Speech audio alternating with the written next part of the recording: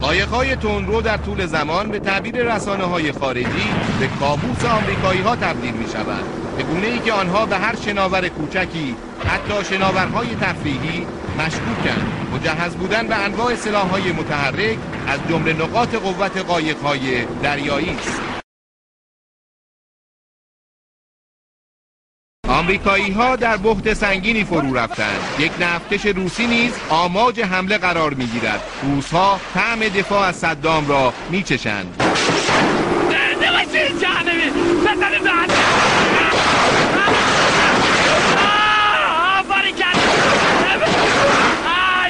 وای وای وای وای وای وای وای وای وای جان خدا